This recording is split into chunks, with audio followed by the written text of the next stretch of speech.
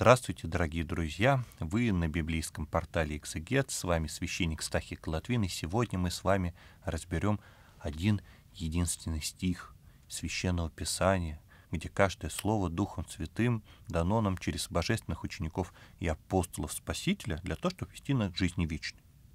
И на этом пути нам важно не упустить даже самое малейшее слово, самое незначительное не упустить на фоне э, того масштаба, который э, являет проповедь Спасителя, того, той глубины, которая дает нам какая-то притча. Порой мы можем что-то не заметить, просто потому что, э, не потому что мы с небрежением относимся к тексту, а потому что мы стараемся охватить, объять необъятное.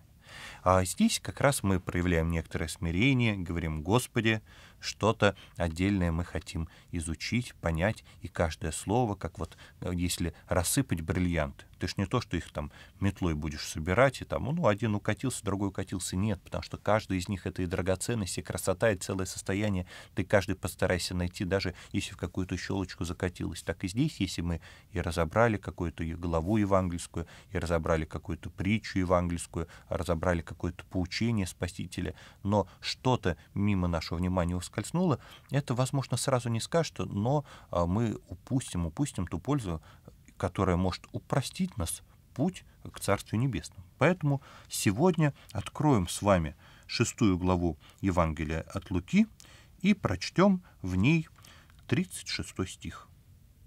«Итак, будьте милосерды, как Отец ваш милосерд». А стих очень коротенький.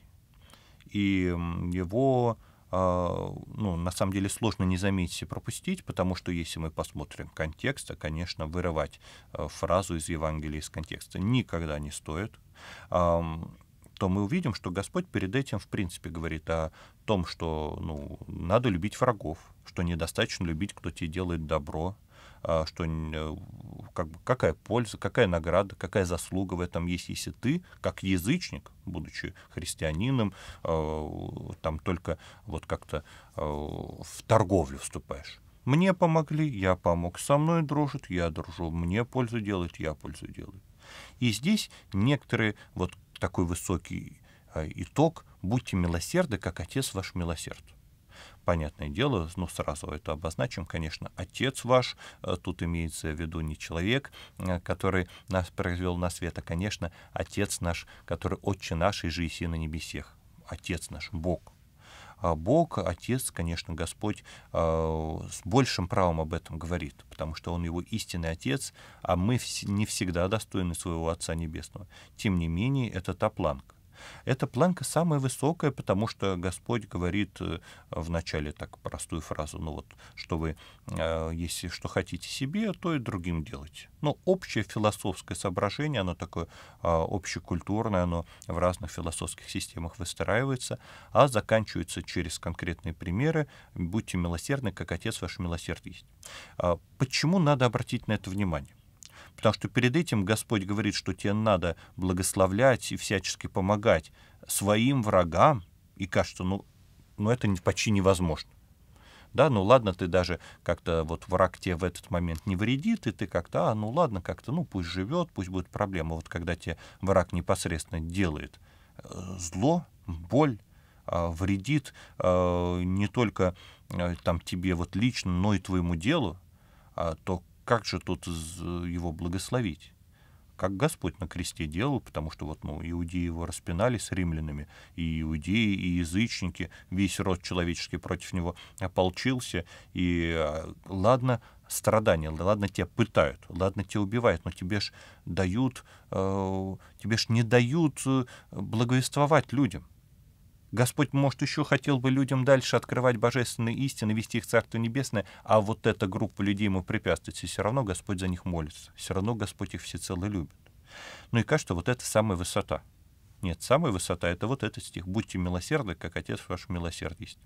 Потому что даже заповедь о любви к врагам — это лишь а, такая, можно сказать, приступчика, которая может объять наш разум на пути того милосердия, которое почти недостижимо. Почему пасти? Потому что э, каждый человек скован грехом, однако э, уже, если человек достиг Царствия Небесного, то он может быть милосерд, как Отец наш Небесный Бог милосерден. Вот вспомним, ну, например, святого человека, там, святителя Николая. Тоже человек был со своими грехами. Тоже он заботился, там, несчастные люди, приданные дать вот этим девушкам, которые незавидная судьба была уготована по их просто нищете, а раз там заступиться за несправедливо осужденных людей, там, помочь утопающим и так далее. Но все равно святитель Николай, а, даже если он все держал в голове, ну, скольким он людям мог одновременно помочь? Ну, там, 100, ну, 50, ну, организовал что-то, ну, за каждого заступился.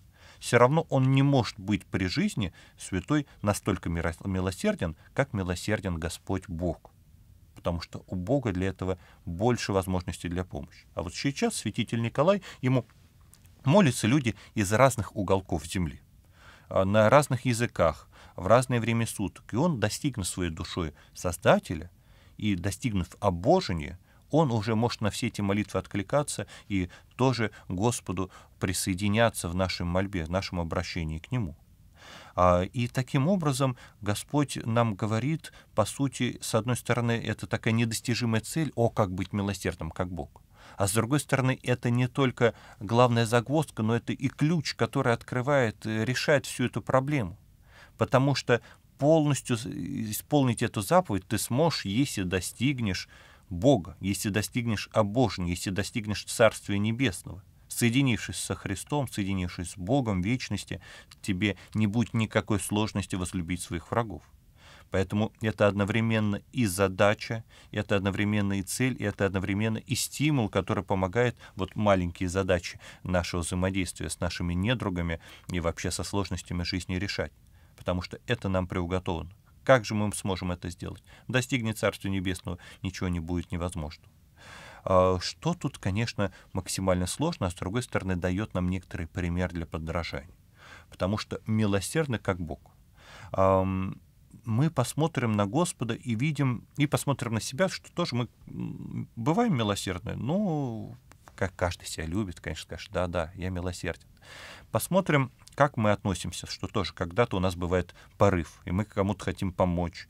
Мы берем, там, прочитали чью-то историю, взяли там какой-то перевод, сделали благотворительный, а, мы там время свое уделили, силы, а, мы уступили, мы там себе неудобство какое-то сделали. И даже вот как по Евангелию сказано, нам враги сделали козни, и ты думаешь, а сейчас какой-то асимметричный ответ, сейчас придут ребята, разберутся с твоими обидчиками, а потом думаешь, ну нет, как-то это будет не по-христиански, взял остановился.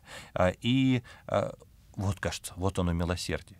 А в другой момент нет. А в другой момент даже что о врагах говорить? Даже наши самые близкие, родные люди, а, они рядом с нами, и вот а мы там просто не выспались, ну или у нас там спор какой-то, и мы там берем, обижаем и там и детей, и жену, да, хотя вот вроде мы же люди милосердные, даже как-то врагам иногда уступаем. Тут как раз э, а, одно из тех различий, которые между совершенным Богом и несовершенным человеком. Бог неизменен, некоторая догматическая истина, истинных догматического богословия. А человек постоянно меняется. Меняется и во времени, меняется в своем состоянии приближения, отдаления от Бога, а меняется в зависимости от окружающей ситуации. А Бог не меняется никогда. И поэтому здесь, вот в этом, в, понимании этого стиха, нам практически совет от Христа, по сути, вот быть неизменными. То есть Господь, если мы отмотаем назад и посмотрим предшествующие стихи, Он, по сути, на примерах это поясняет. Он же говорит, ну вы же там, кого вы любите, вот вы хоть как-то э, любовью на любовь отвечаете, они вам любовь, вы им любовь. Да, и поэтому человеку, который даже там злится на домашних, нет, он при этом потом, ну и просит прощения, как-то старается о них заботиться, перевесить все-таки свои заботы лаской, даже тот негатив, который он выдал в отношении любящих людей. А вот Господь показывает, что а Бог, он, поскольку абсолютно неизменен, для него не важно, человек против него, человек за него. Господь всех любит. Господь ко всем относится одинаково, как э, тоже вот что солнце светит и на добрых, и на злых, так и Господь свою благодать всем не спосылает. Тут, можно сказать, минуточку. То есть, э, получается, э, неважно, как мы там себя ведем, а Господь все равно милосерд, важно, иначе Господь, наш Иисус Христос, не давал нам задачи быть как Бог Отец, таким же милосердным, таким же неизменным, постоянным. А просто разное будет э, милосердие. Не разное милосердие, что как-то Господь кому-то более жестокий, это тогда уж какая-то натяжка будет философская. Нет, Господь всегда для всех выберет лучшее. Вот ты э, идешь все-таки по пути спасения, но грешишь. Господь тебя любит. И Господь э, а, для того, чтобы тебя удержать от греха, потому что видит, что твое сердце к нему стремится, возьмет и тебе пошлет какое-то испытание, прошлет тебе проблему, болезнь, а, пошлет какую-то атаку недругов на тебя. И ты думаешь, Господи, за что начинаешь думать, находишь свой грех, каешься в нем, исправляешь, идешь дальше по пути спасения. А если бы ты не пошел по пути этого греха, более бы ровно прожил. Что можно сказать, Господь тебе где-то мстил? Не мстил, Господь, наоборот, по своему неизреченному милосердию, которое постоянно. И когда ты грешишь, Он тебя любит. И когда не грешишь, ты любишь. Но просто с, с тобой по-разному взаимодействует. Или человек, он в принципе не то, что не хочет пути спасения, а идет только непосредственно по пути греха. И Господь берет и его там жизнь обрывает. И кажется, как же человек, он там, мало ли, там, от передозировки наркотиков на какой-то бандитской разборке погиб, что он в этот момент был лучше всего готов к встрече со Христом. Действительно, Господь милосердный, он понимает, что грехи будут только нарастать, и надо остановить а вот человек какой-то жертвенный, человек любящий, человек заботящийся. Почему раз Господь его э, жизнь обрывает, и тоже э, он бы стольким еще пользу принес? Это ладно, что он там его наркомана, бандита остановил. Чего же этот человек умирает? Так и здесь Господь, поскольку он абсолютно милосерд, наши внешние факторы для него не так важны, наши земные факторы, он просто видит, уже человек достиг Царствия Небесного в своей жизни. Зачем его дальше здесь на земле держать? А, и то же самое, конечно, про нашу посмертную участь, потому что тоже не нужно думать, что Господь, когда грешников отправляет в ад, это значит, что а, как-то Господь их не любит. Господь э, дает каждому то, что человек хочет э, грешнику, если э, он попадет в рай, для него этот райский свет божественной любви будет куда большей пыткой, чем скрежет зубовный в компании сатаны и падших ангелов в аду. Ну или как тоже есть новомодная такая теория, что, ой, ну не, вот будут существовать праведники, а грешники, ну они просто перестанут существовать. Но это тоже некоторое э, недоверие Богу, что вот несуществование, оно лучше, чем существование даже э, в каких-то адских пределах. Все равно Господь всегда милосерд. Но наша задача его милосердию соответствовать. И если мы будем милосердны так же, как Бог, то мы вечность будем проводить вместе с Ним в том милосердии, в милосердии райского блаженства, а не в местах, где милосердие — это лишь некоторое снисхождение и поддержка существования грешников.